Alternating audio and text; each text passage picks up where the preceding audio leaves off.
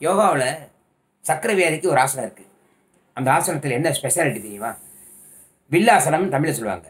தனுராசனம். வில்லு விடுவாங்களே அந்த வில்லு விடுற ஆசனம் தனுராசனம். தனுர் ஆசனம் என்பது எப்படின்னா ஒரு பிரம்பு இருக்கும். அந்த பிரம்பு ரெண்டு முனையில் கைத்தை இருக்க நான் கட்டியிருப்பாங்க. எல்லாம் அம்பை வச்சு இப்படி இழுக்கிறோம் இப்போ இந்த ஒரு இந்த இடது கை வந்து முன்னால் அம்பை தள்ளும். வலது கை வந்து வில்ல பின்னாடி இப்படி இழுக்கும். கயிறை.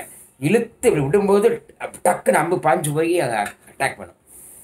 ரெண்டு பக்கம் ஃபோர்ஸ் கை ஒரு கை வெளியே தள்ளி ஒரு உள்ள இருக்குது. உடம்பு வளைச்சி மேலே ரெண்டு கையால் காலால் வெளியே தள்ளும்போது இந்த உடம்பு ஃபுல்லாக விளையுது. ரெண்டு பக்கம் விஷயம். தலை ஒரு பக்கம் விஷயம் தள்ளும் ஷோல்டர் ஒரு பக்கம் விஷயம் தள்ளும் கால் ஒரு பக்கம் விஷயம் தள்ளும். ரெண்டு கிக் அவுட் தலையும் காலும் கிக் அவுட் பண்ணும் பொழுது அங்கே ரெண்டு எதிர் விஷய எதிர்வினையான விஷயங்கள் நடக்குது. அந்த ரெண்டு எதிர்வினையான விஷயங்களும் உள்ளுக்குள்ளே இந்த சர்க்கரைவாதிக்கான எல்லா காரணிகளையும் தவிடுபடி சத்தியம். தனுராசனம் சர்க்கரை வேலைக்கு அற்புதமான ஆசனம். செஞ்சு பாருங்கள்